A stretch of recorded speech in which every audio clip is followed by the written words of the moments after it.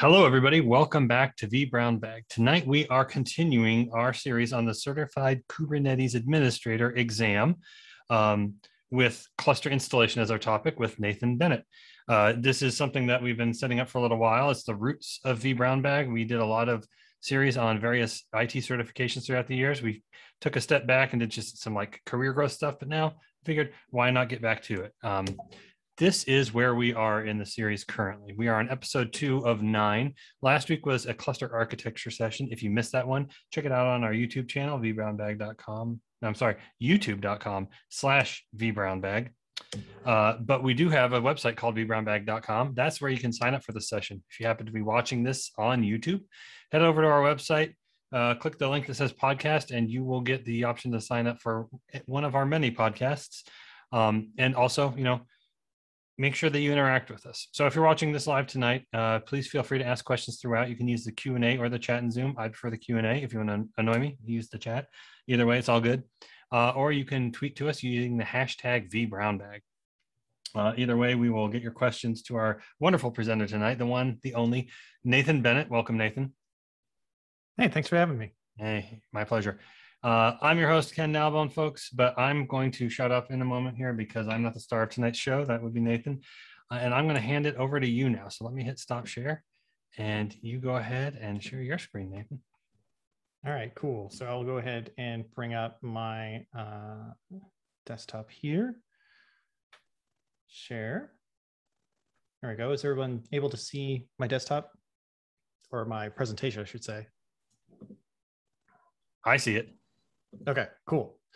As long as I've got some verbal agreement to what they are seeing, that is all that matters to me.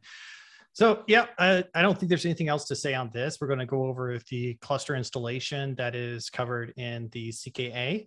Um, we're going to just take uh, just a little bit about what is really required about this. And we're going to take a look directly into how, uh, uh excuse me, the tools that we're going to be utilizing, how we're going to do it, and then we're going to do it um, and it's really the area that's gotten me the most nervous I've ever been because uh, we're actually going to go through the steps and I'm going to do it as a fresh installation. So there's nothing, nothing opinionated, nothing stating that it's actually going to work. In fact, I'm kind of hoping that certain things don't work because if that actually happens, then we can kind of talk about why it didn't work, uh, a little bit around uh, the stuff that you can do in order to kind of see uh, the why fors and whatnots and work around those things. So we'll see how it goes. But a little bit about uh, who am I? Um, I'm looking very, very intently at a screen, but you know, I got a bunch of certifications. Uh, doesn't matter. I'm, I'm a cloud architect at Sterling Computers. I do have my CKA. I got it about last year, um, and really, this perspective that I'm going to present is kind of exactly how I prepared for the CKA and a little bit more in depth of like my experience. So if you're if you came to this kind of like for an understanding of more about Kubernetes, I think a lot of other people did like a way better job about this. This is very laser focused on getting you past this part of the exam. Um, and I, I kind of want to make that a little bit clear here because uh, if you're if you're here not looking at the CKA, I mean, like you're going to learn how to do some stuff that some really awesome, cool stuff. Um, but that's kind of the the point that that I'm taking and how I've prepared and the demonstration that we're going to do. The other stuff that I've uh, kind of been known for is community stuff. I'm, I'm a big believer in the V community, uh, as well as many other communities out there, including the CNCF community and the groups out there. Um, I'm a co-host for the IT Reality US podcast. If anyone's ever heard of that, um, Vince Wood is the uh, host. I'm just the co-host. I, I add banter and try to make people laugh as much as possible and basically be, be a joker most of the time. I'm on uh, Twitter at vnathan bennett. I am, uh, you know, obviously open to new connections. If you have any questions about things that we're going to talk about tonight, or things that uh, may help you, you know, in your career or Kubernetes or whatever, you know, hit me up and let me know. Always uh, all about trying to help someone move forward in their career or things along those names. And then I blog sometimes at nerdynate.life. Um, I've become a blogger for my my company uh, Sterling Computers. So nerdynate.life has has not seen a lot of love lately. Um, I, but I do blog about um, CKA, and I do have a blog specifically around the steps that we're going to go through tonight that may help kind of give a little bit more color to um, the documentation that we're going to follow. So for tonight, we're going to be using kubeadm to do an installation of a Kubernetes cluster. That is specifically what the CKA is going to ask you to do. Uh, we're going to talk a little bit around kind of like what is bootstrapping, what is kubeadm, how are we going to do these things in a bit of a slide deck. Uh, then we're going to jump into the demonstration. And this is going to be kind of a, a very video heavy focused uh, uh demonstration here because we're going to actually go through the steps necessary and if I kind of rattle off what those steps are necessary for, might not actually be all that fun to listen to. But you know, as we wait for things to download or or steps that we're doing, you know, we'll try to figure out some way to uh, discuss different things. Maybe Ted Lasso. We'll see. After the demonstration's done, we're going to talk real briefly on okay, so this was cool, but say I have a Kubernetes cluster, what do I do with it? Uh, or what should I do with it in terms of preparing more for the CKA? Or maybe I already passed the CKA. What do I do with it then? Um, and then I'm going to have one quick slide about uh, my personal test tips. I'm sure everyone's going to bring uh, an idea of test tips. I think there's going to be an episode really focused on that, but um, I think everyone's going to bring different test tips to the table that really help people understand all the different uh, versatile, versatile tools they can have to pass the CKA. So let's just jump into it.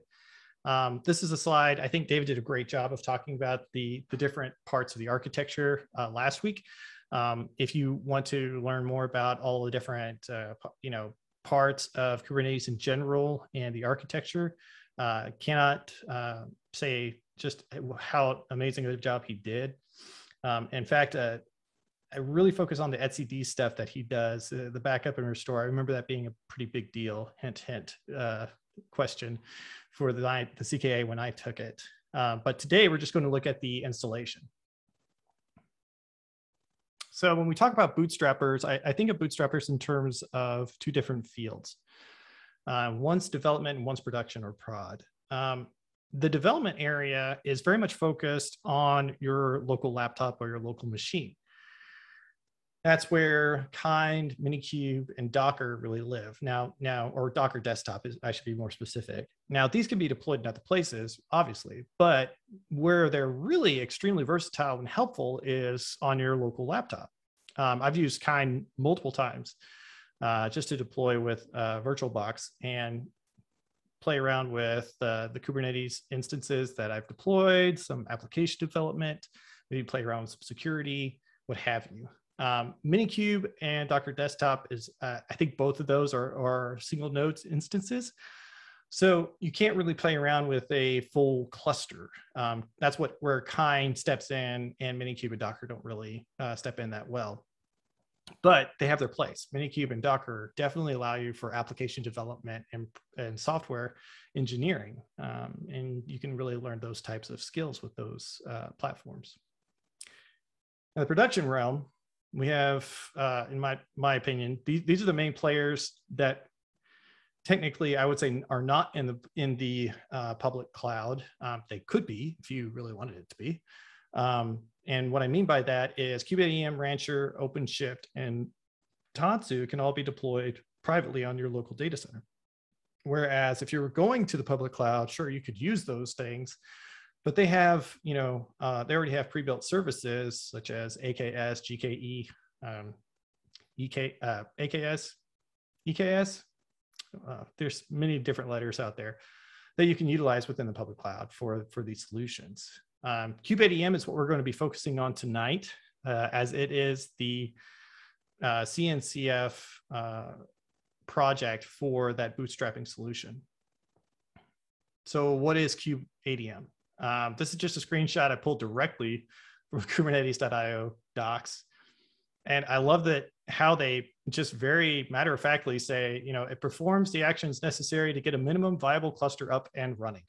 you know that's that's all it really does i mean you do a lot of steps moving up to the uh, the final kubeadm command to actually kick off uh, the cluster installation and if you bring up all of the dominoes correctly when you run your kubeadm command or kubeadm whichever way you want to call it those things just kick off and everything just falls where it should um, and then you can continue on.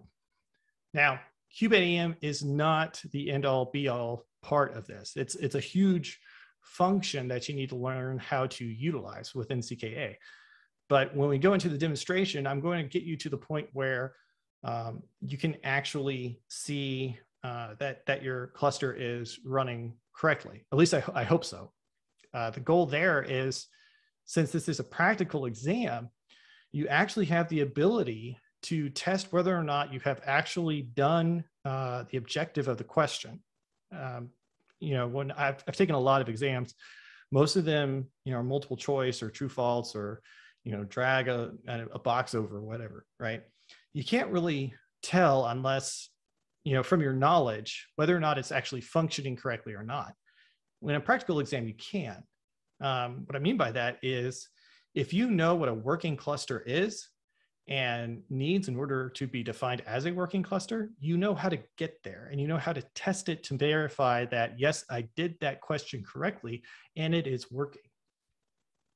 This is kind of something that, that I did um, when I did the CKA was every time I had a question, I performed the task, but then I ran tests to verify that the task actually took, that everything is actually running the way that it should be and then I moved on to the next question.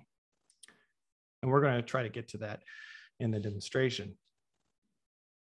So again, you know, multiple ways to create a, a, a cluster. We're going to do CK, uh, the kubeadm. Um, and when we're doing the kubeadm, what I'm going to try to uh, impersonate a little bit is a CKA environment. CKA is an open book test if you go to uh, kubernetes.io slash docs, you can use anything within that area. Um, so with that setup and that documentation, there are multiple ways that you can actually prepare. Um, if you have a license for VMware Workstation or Fusion, you know you can use a Ubuntu image or uh, CentOS or what have you in order to utilize kubeadm and you know build through that. Same thing with if you have a uh, VMware vSphere um, uh, uh, local data center or home lab in order to you know build your clusters as well. You can do that.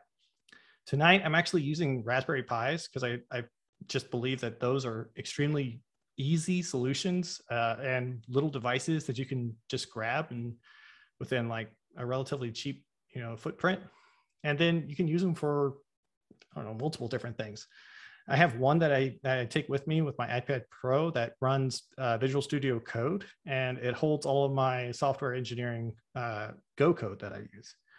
Um, it's actually a really interesting way of utilizing it, but it just goes to talk about all the different things that you can do. The other reason why I like doing them um, is just because, you know, using Raspberry Pis, um, you know you have the ability to uh, build and then rebuild over and over and over again. Um, so you know you can flash new sd cards with the same image and then have multiple different sd cards go through the steps verify you've gotten to where you need to get to pull the sd card out put in new fresh ones get the ips from dhcp or set an ip on it and then run through the steps again and that's literally what i did for my for my cka so i just continually did the steps so I knew exactly what to expect. With that in mind, I also wrote a blog about uh, learning K8s on kubeadm on nerdynate.life. Um, I'm still, you know, as it's been uh, a year, you know, I'm still looking back and making sure that I keep it updated. Um, and uh, so I'm continually editing it. I'm actually using two Pi 4s, if you're wondering about the actual configuration. Um, and I believe the ones that I'm using are uh, two gigabit models in terms of memory. Um, but you wouldn't want anything, you know, smaller than that. So the first rule of every practical exam that I've taken is, you know, keep calm, and move on. Um, main reason why I bring this up is because the biggest problem in, in most of the CKA is really yourself. Um, it's your nerves, it's your energy level, it's you know all of the different things that may make you forget what you already know or make you bypass things that you know you should have an understanding of right and so maintaining a sense of calm and just making sure that you're able to work through in your head what actually is going on and what, what may be happening can definitely help you in the exam. All right, with that being said, we're going to dive into it, but just a quick disclaimer. Um, you know, I'm not a Linux guy. I, uh, I, I focused on the CKA a lot and I tried to make sure that I knew, you know, um, everything that could happen. But when you're doing these things, uh, a lot of times things can go wrong and for really weird reasons. So, you know, we'll see where this goes. Hopefully, like I said, there may be some errors or something. Uh, there may not. We'll see what happens. So let me exit out of that. And we're going to get into basically what I have here, which is uh, just a regular website that's going to kubernetes.io docs. This is one of the websites that you can use during the CKA. And I have two different Raspberry Pis connected via SSH. Now just make sure that my terminals are still live. Good deal. So both of these boxes, uh, these Raspberry Pis, excuse me, are fresh installs of Ubuntu 20. So the first thing I'm going to do is just some Raspberry Pi configurations, including setting the host name.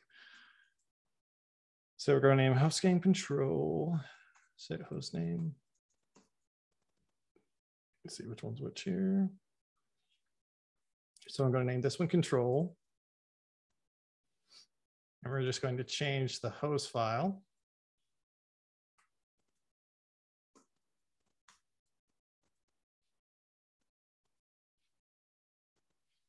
We're going to do the same thing over here on this other machine.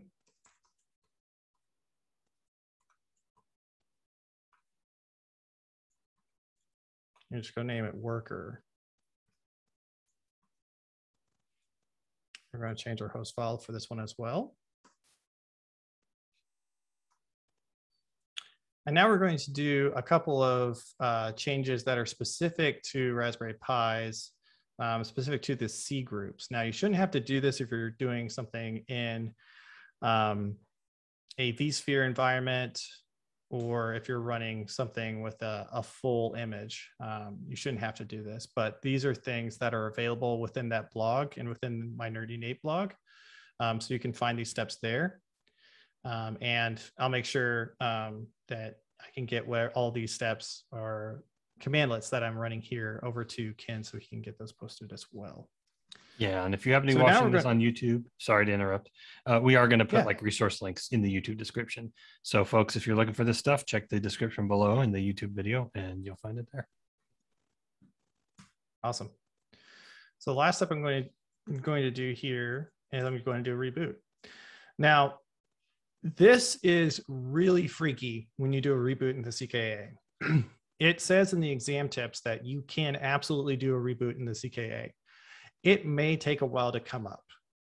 Um, I'm saying this from firsthand experience because it literally scared the living bejeebers out of me when my machine took a very long time for it to come back up and running. Uh, but sometimes, you know, a reboot is what you need in order to, you know, get things running. And, you know, having that ability and that agility within the CKA is very, very helpful. So let me get back into these machines.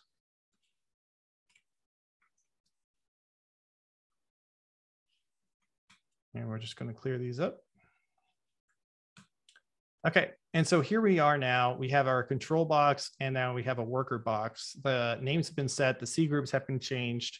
So basically at this point, we are simulating server grade machines. And here is basically the starting point of the CKA. So I've have my Kubernetes.io docs. I've got my two machines and I know I want to do kubeadm. So I'm going to search kubeadm. And in my search results, I see creating a cluster with kubeadm. So I'm going to click this. Now, if you're thinking, oh, you can't do that in a test, you absolutely can do this in the test. I know this by experience because I did this in a test. Um, now that I'm back in uh, kubeadm, remember I'm still in Kubernetes.io docs, which is a okay area for us to be in. I can go to installing kubeadm. Now, if we look at the installing kubeadm tab on the kubernetes.io slash docs website, we can see the beginning configurations for um, our cluster, and we can actually just start running those. So we're going to create a couple of files.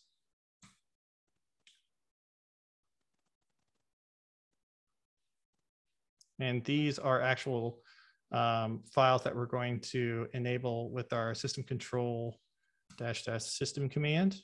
Now, when you run this command, um, a little trick here is to make sure that the configuration changes that you did for, uh, in this instance, uh, bridge.bridge or net.bridge.bridge, that's all I really look for. And so if you're looking here and you don't see it, you might want to wait a second um, and then try it again and then see if it comes up.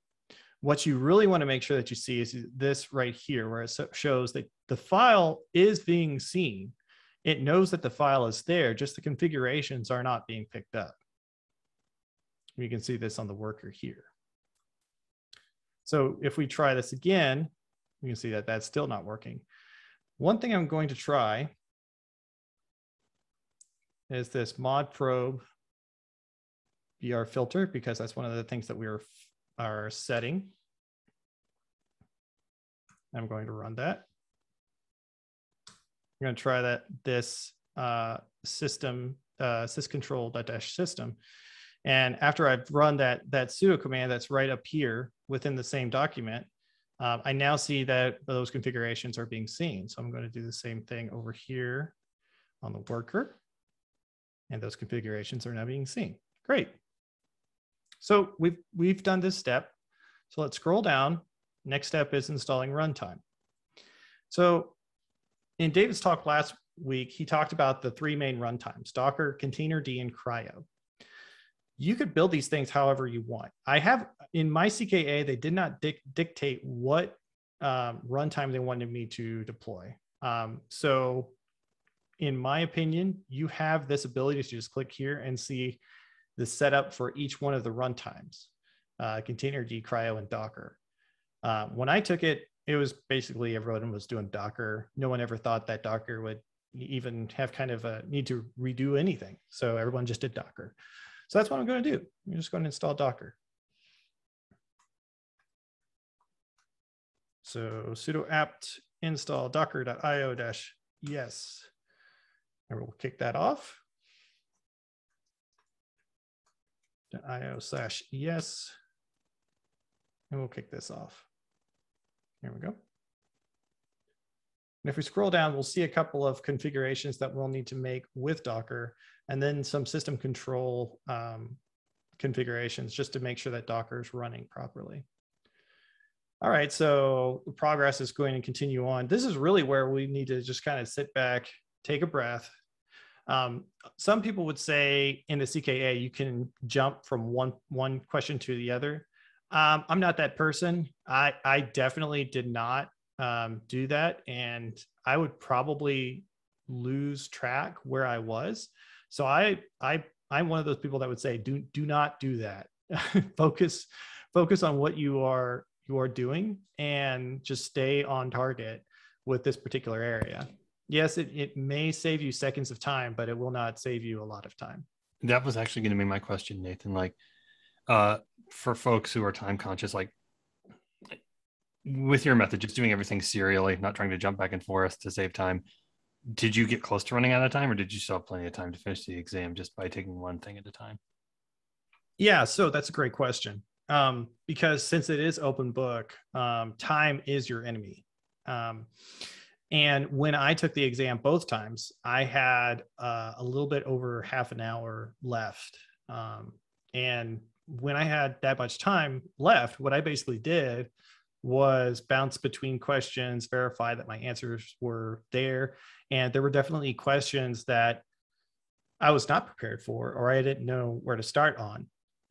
And those were the questions that, you know, um, I went back to, and then I used the cheat sheet for.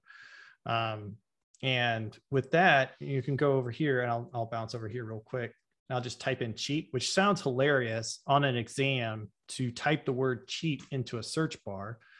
But you have the kube controller, cube CTL, or kubectl cheat sheet, right? And this has a ton of stuff in it. Uh, for instance, you have a question on exporting via JSON. You know, here's some JSON stuff. It's not going to give you the full answer, but it'll get you a start. And so when I took the exam doing these things serially, having, you know, 30 minutes or more left over after I'd answered, you know, the majority of the questions, you know, I I went back and I just played around with the questions that I that I were kind of was kind of loose on the answers to see how to answer them better or make sure that I had answered them to the best of my ability. When I took the CKA, there was literally somebody there um, and they actually told me because I ended my exam 10 minutes early that I should that I should use those 10 minutes to verify my answers. And I was like, I have been spending the past 20 to 30 minutes verifying my answers. So no, I'm I'm I'm good. Um, and so in terms of time, you, you should be fine doing things serially. That's interesting that somebody was telling you, hey, go back and review your answers. Was this like at a normal testing center or was it somehow different? Yeah, so this was in the middle of COVID. So this was at my home. Well, there you go. So, yeah, I just it was just someone that was we were um, I I hit end and then it was like a chat and the chat popped up and said you still have 15 minutes. Are you sure you want to quit? And I was like, uh, let me look at one more thing. Looked a couple more things, went back, clicked in. It's like you still have 10 minutes. Are you sure you want to quit? And it wasn't one of those like paperclip Microsoft, you know, word print whatever guy popping up it was literally somebody saying that because you know when i said yeah i think i'm good and responded to it then it was like okay just just letting you know that you know all this other information which was kind of hilarious. Wow. Cool. Yeah, yeah, yeah okay so now that docker is installed we're going to go through these steps and i'm pretty sure etc docker is already going to be there. Yep. Um, and so we're just going to create this file and then run some system control commands. And these are just uh, C group driver configurations.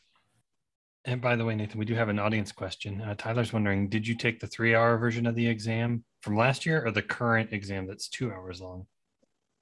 Yeah, that's a great question. I took the three hour exam from last year. I actually took it a week before it changed which we're going to talk about in the in just a second. because we're running into almost the exact same thing that I ran into uh, when I took the three hour one.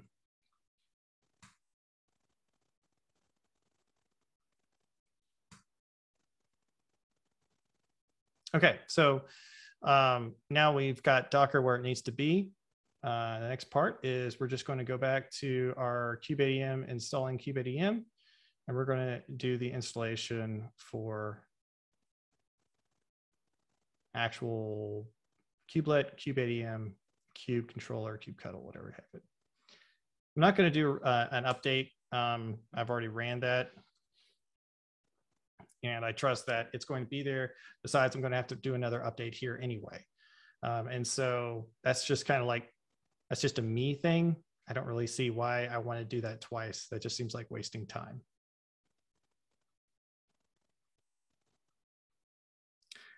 All right, so now we're going to do some curl commands to pull a specific key and then point our um, repository for our packages. And then we're going to run an update to update that package.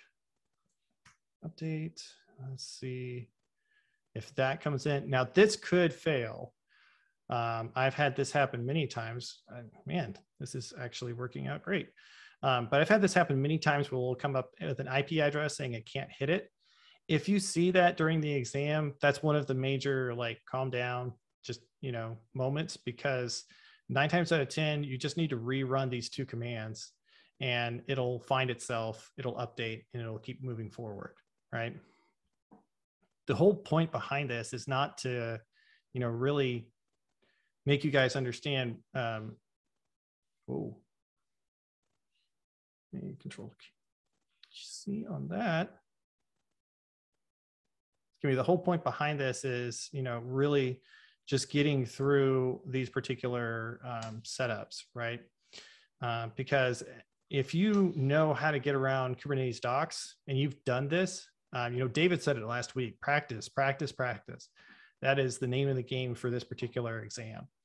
You know, it looks, I, I'm slowing myself down a lot for, for this right now um, because, you know, I'm talking through it. I'm making sure you know i talk about you know a little bit in terms of the flavor of, of what these things are doing but in reality if you're just you can just copy and paste and you're at the the mercy of the you know the speed of you know the the um, environment that you're with and the environment that i was with i never really had any problems with it except for one thing which we're about to get to um, so now I have installed kubeadm, I've installed kubectl, I've, cons- I've installed the kubelet. All the pieces are in place for kubeadm to actually bootstrap the cluster, right?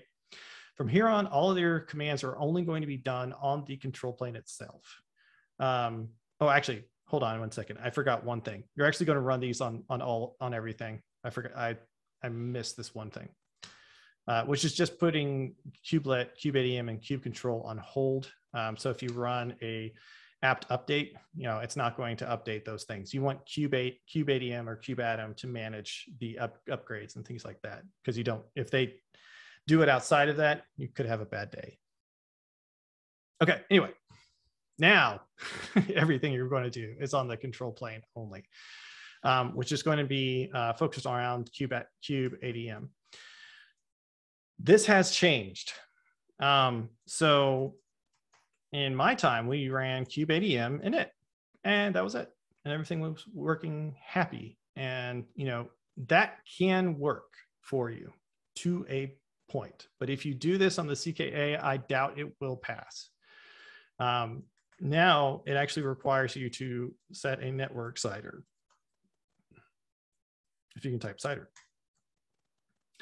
Now the pod network CIDR is specific to the container network interface that you're going to deploy after you deploy it. Um, I have played around with this a lot up to this um, to try to find out if there is a way around this to make it more generic.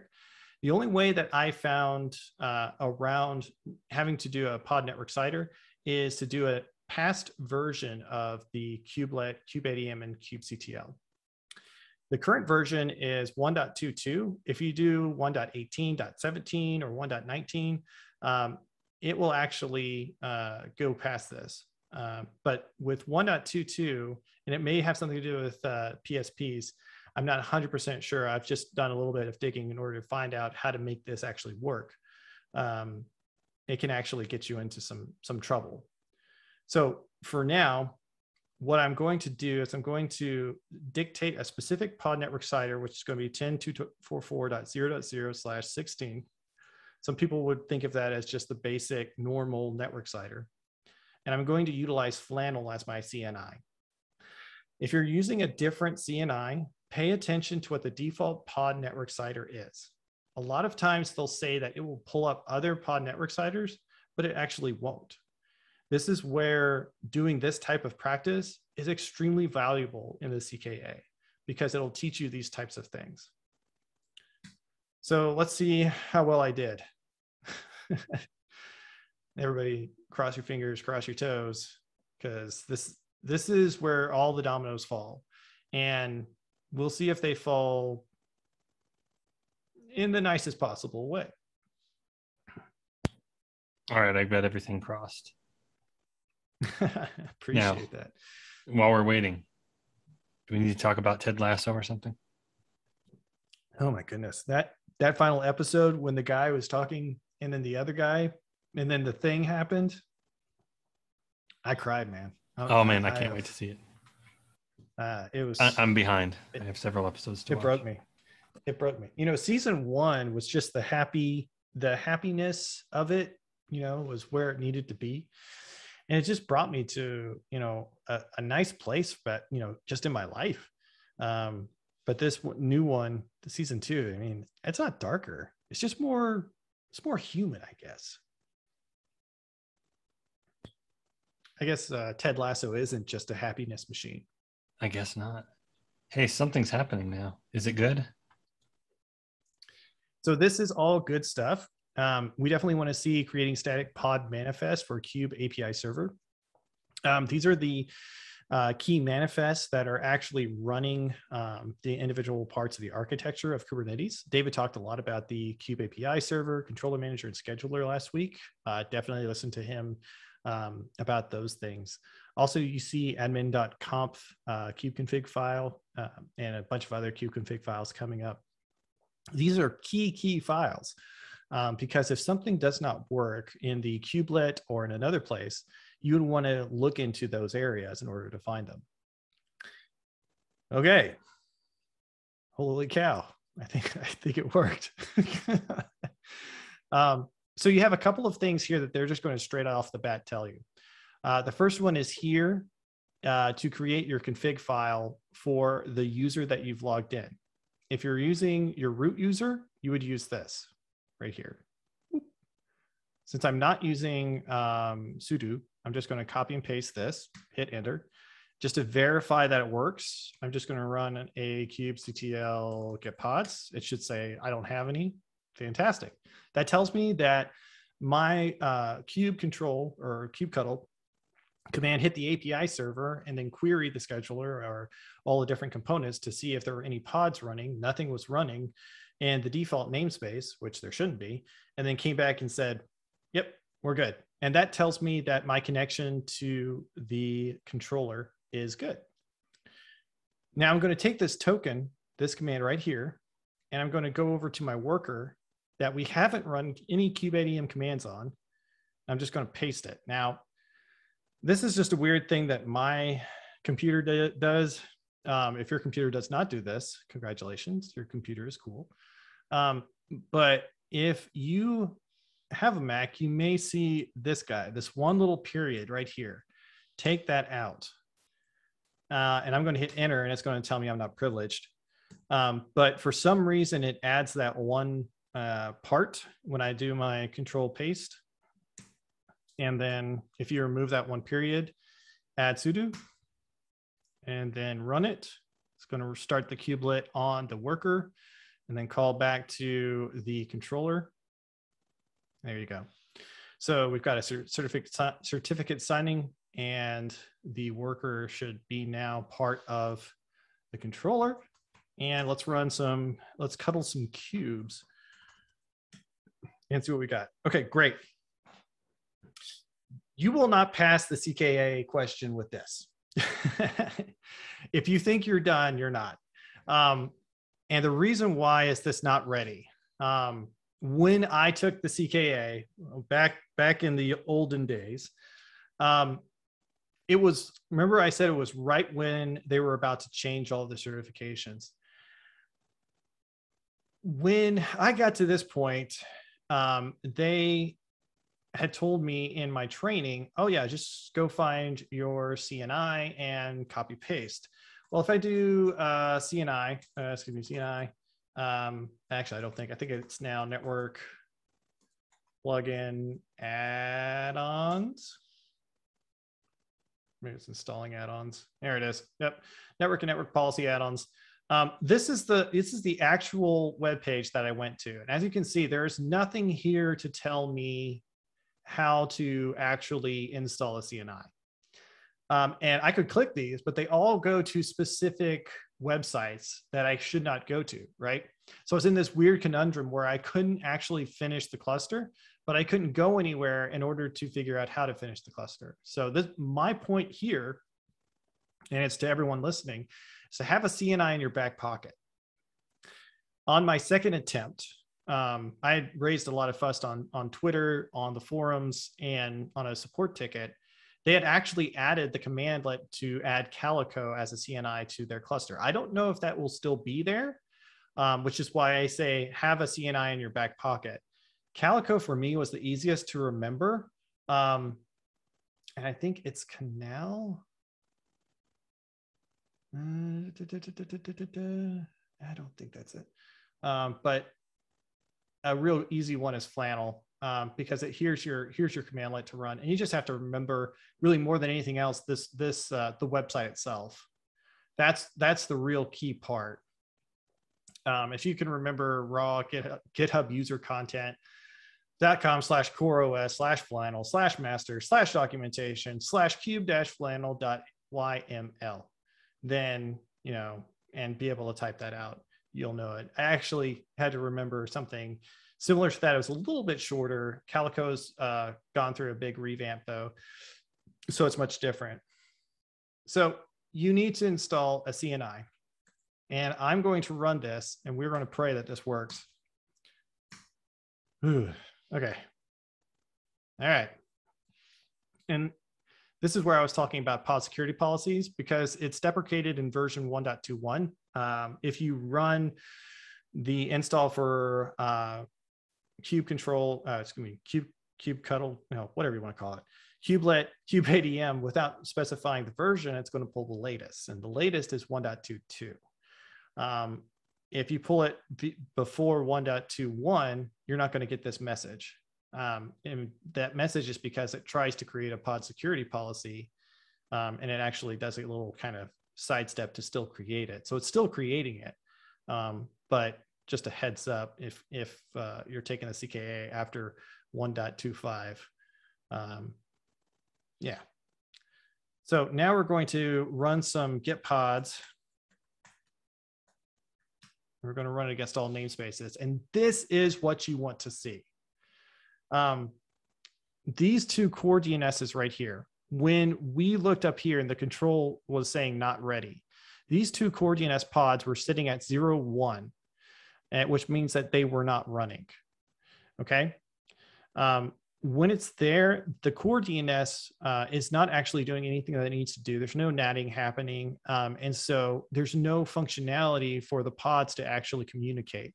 That's what Flannel does. You know, Calico, uh, Weaveworks, you know, all the different CNIs are utilized to create that additional networking layer.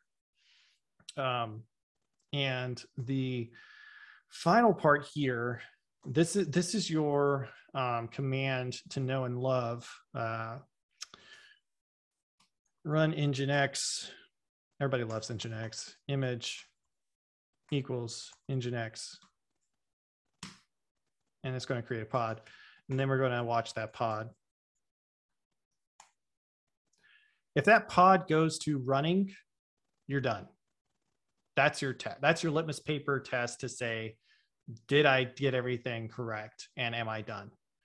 Um, because at that point, you know that the internal networking is working, you know that everything's communicating, your, your cluster is ready to go in terms of the CKA and everything else. Um, and so now we do see that the Nginx pod is now running. Um, I'll uh, break that. And yeah, so this kind of gives you an understanding of all the different parts that have to fit in place for everything to work properly. And that's why, you know, David said it last week. I'll say it this week practice is your best friend in doing this. So, yeah, awesome. That actually worked. I'm moderately surprised. So, um, if I'm, I'm trying to think of anywhere else that it could that it could break, but uh, that was actually pretty clean. I will just say I was not at all surprised. I had complete faith and total faith in you, Nathan. I appreciate that. You you lived up um, to my expectations. You didn't let me down at all. so so a couple of things that you know I'll just reiterate.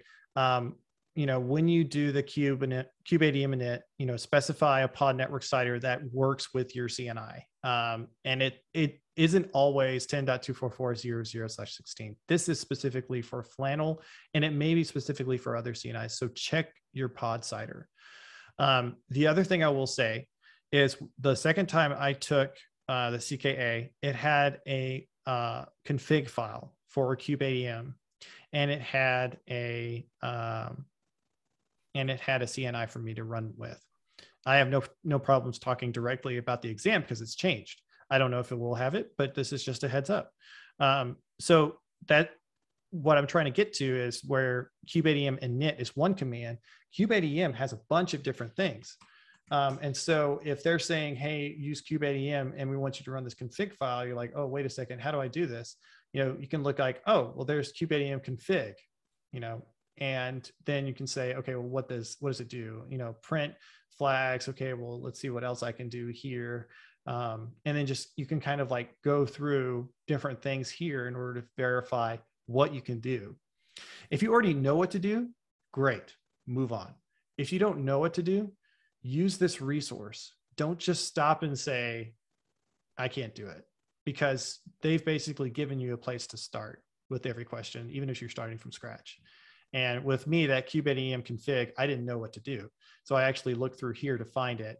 And I did also did a kubeadm uh, dash H um, for different ones of these in order to get a little bit more perspective. And so that helped me move through it. But anyway, um, just to wrap up a couple of things here, um, just for some future references. I, I, can't do a talk without talking about automation and vRealize automation. It's just in my blood. Um, if you are a VRA person and you want to automate it from scratch, there are a bunch of resources on how to do that. Um, and these are all utilizing kubeadm and utilizing open source solutions in order to basically get it set up. I've got my own little blueprint here uh, as well, has a, a, GitLab, and they all require, you know, an Ubuntu image uh, with Cloud Init enabled and VRA 8.0 or 8. whatever. So all those different things there. Uh, but what do you do with the cluster? Okay, I've I've built a cluster. Now what do I do?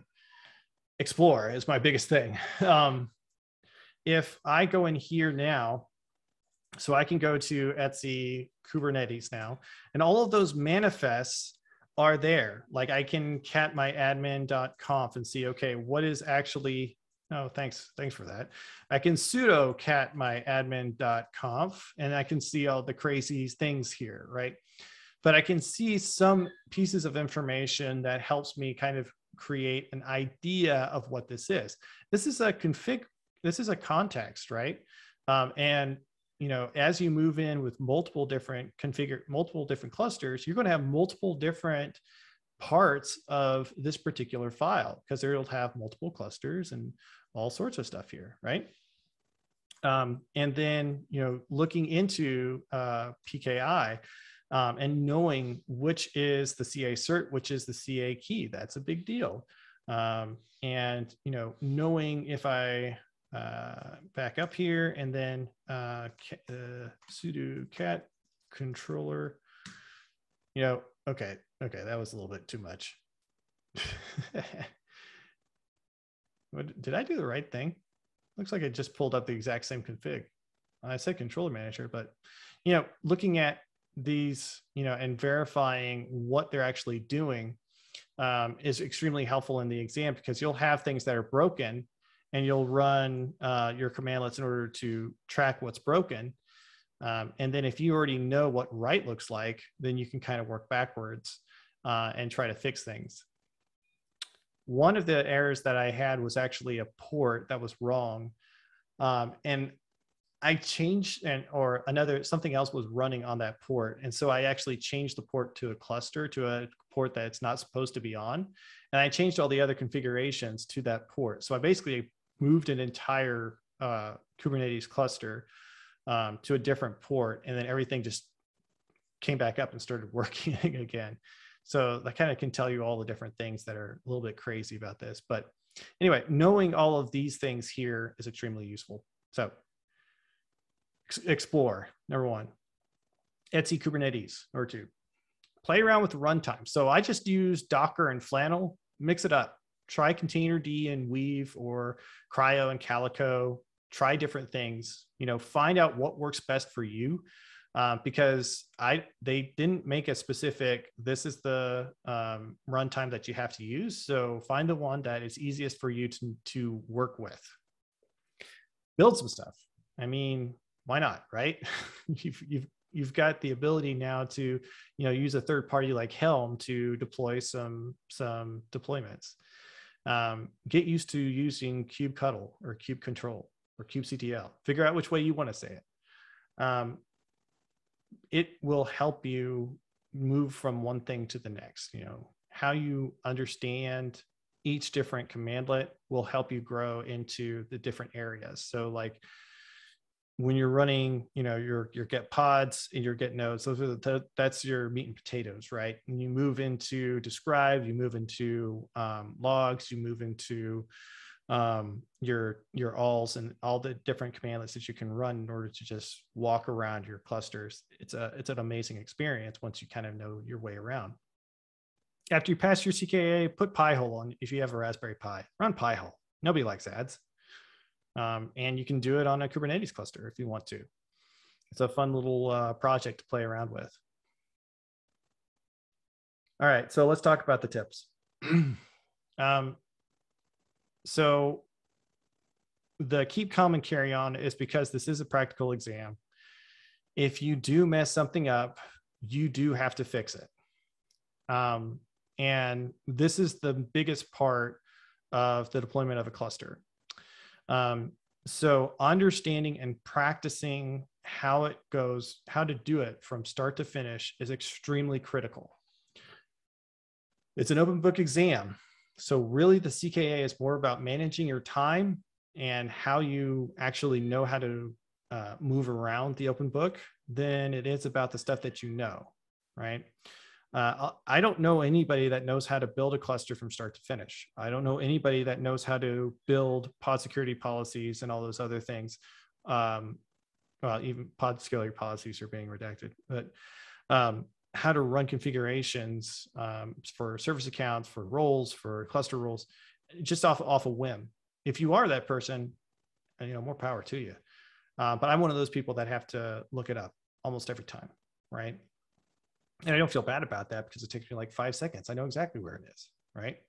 So, how do you want to answer that question?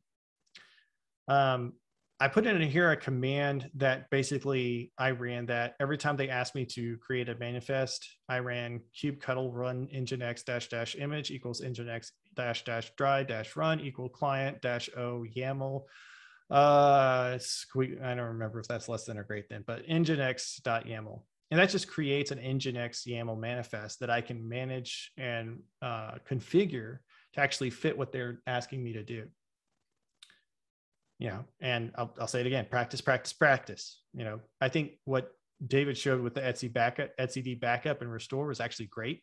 I don't know how many times I did that, but um, yeah, that's one of those things that you know muscle memory is uh, is extremely helpful I put in a link for Mumshad Mannambeth uh, Udemy course. David talked about it last week. I'm going to talk about it this week.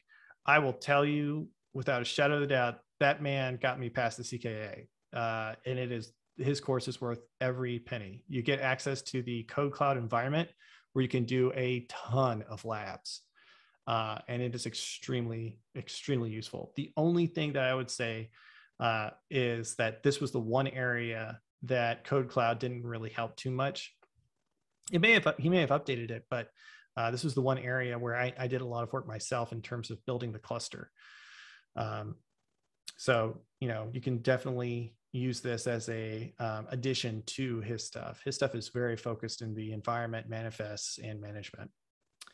Uh, journalctl dash U space kubelet. If something's not working, that's your start, and that's I mean, just just remember that commandlet. It's the same up there with uh, the cube control up top. And then finally, check your work. I mean, it's a practical exam. You're given every opportunity to verify that everything is working the way that it should be. So why not do it? You know, make sure that when you do the work, uh, you're being time conscious. Um, and then one that I didn't put down here, but now that we're talking about the time, being time conscious, skip the questions that you have no clue. Like when you're going through the exam and they ask something about uh, something that you just don't don't even know where to start, just skip it. Go to the go to the next one. If that one gives you a poser, skip that one. And then just think of it in layers. Think about the ones that you absolutely have down and answer those questions right off. Go back to the ones that you didn't answer and then go through until you find the one that you have the best bet at moving into those answers and do those. And then finally, the ones you have no clue, that's where the open book comes in extremely handy. The cheat sheet comes in extremely handy and find out where to start and then work your way through the through the question. And yeah, if you run out of time, uh, then that's in my opinion that's the best way to end an exam because every time i ended an exam with time on the table i felt like you know what if there's something that i'm missing and yeah so that's the last thing i'll say there and I'll, that's all i have i really appreciate coming on and i really hope this was helpful that was great thanks very much nathan i'm going to give folks one last uh, chance to get in their questions but other than that, I think we're about ready to wrap it up. Um, Nathan, can people bug you if they have further questions, like on Twitter? Oh yeah, yeah, absolutely. So I'm at uh, v Nathan Bennett. Definitely reach out to me if you have any questions, especially towards the exam. Um, you know, we'll we'll definitely get this uh, slide deck out there with the resources, um, if nothing else for the resources, so that y'all y'all have that. Um, and yeah, absolutely. Reach out to me if you have any questions, especially towards the CKA. Um, yeah, love to help out as much as I can. Awesome. Well, I'm not seeing any more questions come in, so uh, we will call it a night. Thanks very much.